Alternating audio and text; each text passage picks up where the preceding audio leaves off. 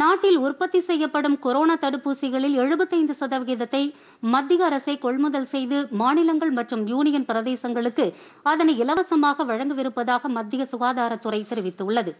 தடுப்பூசி தொடர்பான மத்திய அரசின் திருத்தப்பட்ட வழிகாட்டு நெறிமுறைகள் இம்மாதம் இருபத்தி ஓராம் தேதி முதல் நடைமுறைக்கு வர உள்ளது பதினெட்டு வயதிற்கு மேற்பட்ட அனைவருக்கும் மத்திய அரசு இலவச தடுப்பூசியை வழங்கும் என பிரதமர் நரேந்திர மோடி நாட்டு மக்களுக்கு நேற்று முன்தினம் ஆற்றிய உரையில் தெரிவித்திருக்கிணங்க மத்திய சுகாதாரத்துறை புதிய வழிகாட்டு நெறிமுறைகளை வெளியிட்டுள்ளது.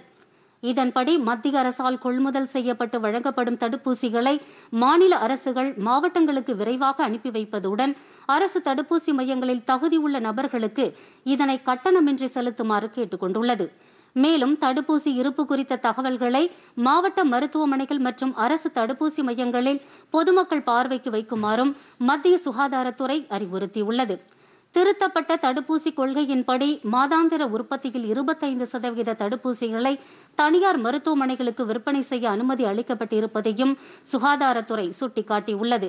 மேலும் தடுப்பூசியை செலுத்துவதற்கு தனியார் மருத்துவமனைகள் ஒவ்வொரு நிறுவனத்தின் தடுப்பூசிக்கென நிர்ணயிக்கப்பட்ட கட்டணத்துடன் சேவை கட்டணமாக ஒரு டோஸ் செலுத்துவதற்கு நூற்று ஐம்பது ரூபாய் மட்டுமே கட்டணமாக செலுத்த வேண்டும் எனவும் அறிவுறுத்தப்பட்டுள்ளது. மேலும் அரசின் கோவின் இணையதளத்தில் முன்பதிவு செய்து தடுப்பூசி செலுத்திக் கொள்ளலாம் எனவும் கூறப்பட்டுள்ளது.